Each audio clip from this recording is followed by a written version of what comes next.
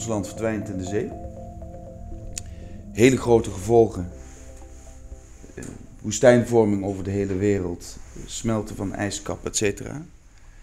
Dus de rillingen lopen je over de rug. Staatssecretaris Timmermans van Buitenlandse Zaken is zeer overtuigd van de urgentie van de klimaatproblematiek.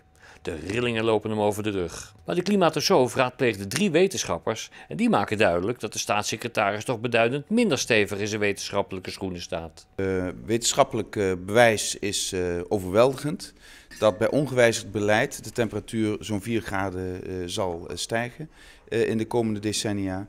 Um, nee, dat heeft... neem me niet kwalijk. ik vraag u, de temperatuur is de afgelopen tien jaar niet gestegen. De temperatuur is wel gestegen de afgelopen uh, tien jaar. Waar haalt Timmerman en Hemelsman vandaan dat de temperatuur uh, nog steeds aan het stijgen is? Uh, iedereen die zich een beetje verdiept in deze zaak, die weet dat al zo'n jaar of acht de temperatuur, de wereldtemperatuur gemiddeld, stabiel blijft. Dus dat geeft een vlakke curve te zien. En de staatssecretaris had dat al lang moeten weten. De temperatuur is de afgelopen tien jaar niet gestegen. Het, het ging omhoog tot, een, eh, tot 1998 of zo en nu vlakt het af. Dus dat is, een, eh, dat is een hele opmerkelijke ontwikkeling, omdat het CO2-niveau in de atmosfeer wel gewoon door blijft stijgen. Dus een uh, causaal verband, daar moet je ook wel een vraagteken bij zetten. Hij is in de voorgaande eeuw is die met ongeveer 0,9 graden Celsius gestegen. En uh, sinds de laatste 7, 8 jaar weer met 0,3 afgenomen. Uh, of er al werkelijk een daling in zit, is de, nog maar de vraag. Maar de astronomen voorspellen dat dus wel, uh, tenminste voor het jaar 2012. En hoe lang die afkoeling dan gaat duren, eh, dat kan 10, eh, 15 jaar zijn, maar het zou ook wel eens 30 jaar kunnen zijn. In de wetenschap zijn er altijd dissidenten, maar ik ga het beleid van de Nederlandse regering niet bepalen op basis van dissidenten die denken dat de wereld nog steeds plat is.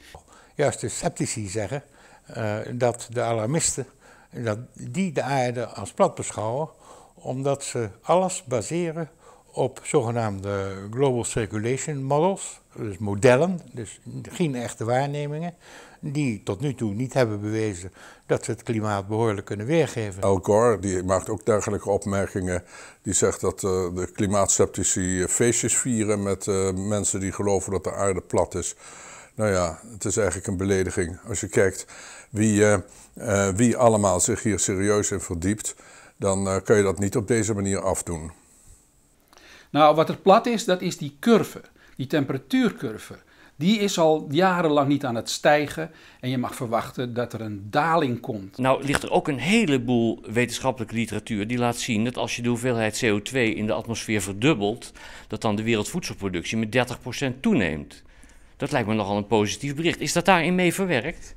Dat is zo'n uh, naïeve uh, benadering. Nou, omdat, in het Westland kijken. Nee, omdat bij de toeneming van de uh, temperatuur de verwoestijning van een groot deel van de wereld waar je die voedsel dan zou moeten produceren, exponentieel toeneemt. In de Sahel dus is de woestijning daar, aan het afnemen. Daar waar je in de Sahel is de woestijning niet aan het afnemen. Ja, ik weet niet waar u uw Op Journal of wetenschappelijk uh, bewijs uh, vandaan haalt. Wel, uh, CO2 zal zeker grosso modo in, in zijn geheel over de aarde wel een stimulerend effect hebben op het groen worden.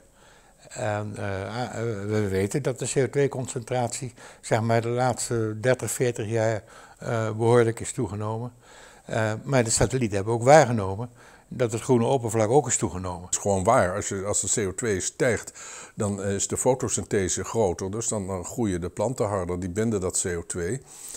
En, dus meer CO2 betekent dat de aarde vergroent? Absoluut, ja. ja.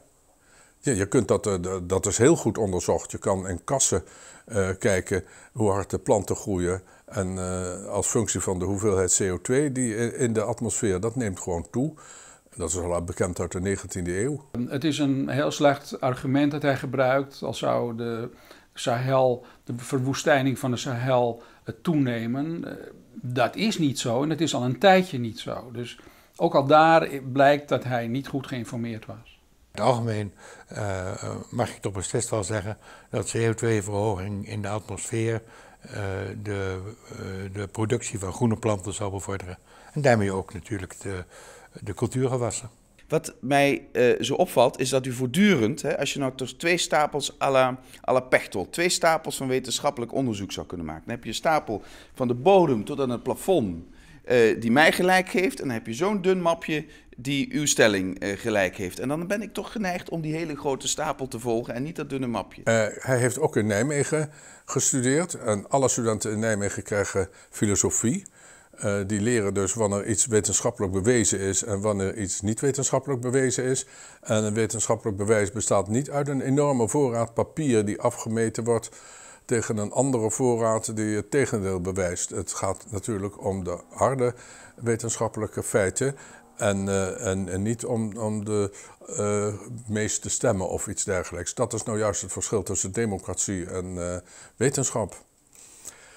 Uh, de staatssecretaris zou dat ook eens moeten bedenken voordat hij zich op deze manier daarover uitlaat. Men praat elkaar na en een heleboel mensen durven niet uh, kritisch te zijn in dit opzicht vanwege de sociale druk.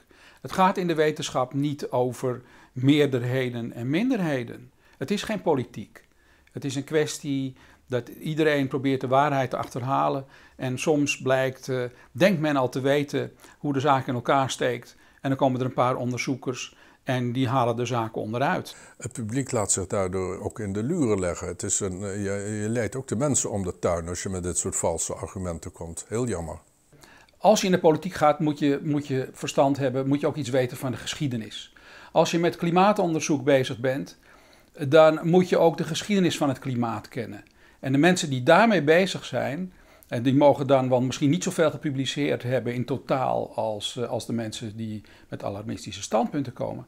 Maar de mensen die met de geschiedenis van het klimaat bezig zijn, die, um, die zijn eigenlijk allemaal op, zitten allemaal op dezelfde lijn. Namelijk dat de natuurlijke klimaatverandering uh, in de loop der tijd eigenlijk bepalend is voor wat er gebeurt. En ik denk dat dat ook nu nog en in de nabije toekomst weer zal blijken. Dus kijk, waar het om gaat is deze trend die u hier ziet. Die trend als je hier een mediane lijn doortrekt, gaat die trend alleen maar omhoog. Ja. Het is ook duidelijk dat die trend is begonnen met de industrialisatie van de wereld. Dus het is ook duidelijk dat menselijk handelen ertoe geleid heeft dat de temperatuur uh, stijgt. Het is ook duidelijk dat het, door, uh, het doorgaan van uh, die industrialisatie en het exponentieel toenemen van het verbruik van op koolstof gebaseerde brandstoffen ertoe leidt dat de temperatuur verder zal stijgen. We, we hebben een kleine ijstijd achter de rug. Dat vergeten een boel mensen. Die heeft geduurd van. Um, 1600 tot, uh, men zegt dan het begin van de industriële revolutie.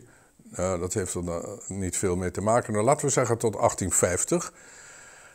Toen was het ontzettend koud. Als je, als je leest verhalen uit de 19e eeuw, dan bevestigt het dat ook. Het herstelt daar nog steeds van. En het, het klimaat kruipt langzamer. De warmte die neemt wat toe, een halve graad in de 20e eeuw. Om nu te gaan veronderstellen dat het 4 graden zal zijn in de 21ste eeuw, ja, dat is, uh, dat is wild uit uh, een, een wild idee. Daar kun je niet een heel beleid op baseren. En zeker geen investeringen van honderden miljarden euro's. Als u nou zo'n verhaal van de staatssecretaris uh, hoort, die man die heeft de beschikking over een stortvloed aan ambtenaren die hem allemaal de allerbeste informatie kunnen geven. Hoe beoordeelt u dat dan? Ik stem al tientallen jaren op de Partij van de Arbeid en dat blijft ook zo.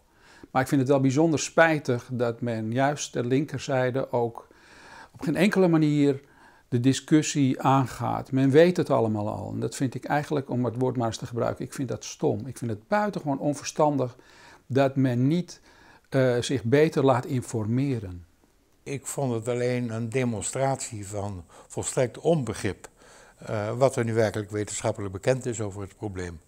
Uh, kennelijk heeft hij zich zeer eenzijdig laten voorlichten. Het is bijna lachwekkend eigenlijk en ook weer triest dat iemand in zo'n belangrijke functie zo slecht geïnformeerd is. Het is een geval van napraterij. En ja, ik maak de vergelijking met, met, met de introductie van, van een bepaalde religie. Hè, waar eigenlijk ook sprake is van, van napraterij. En wat dat betreft is er kennelijk in honderden jaren nog niets veranderd.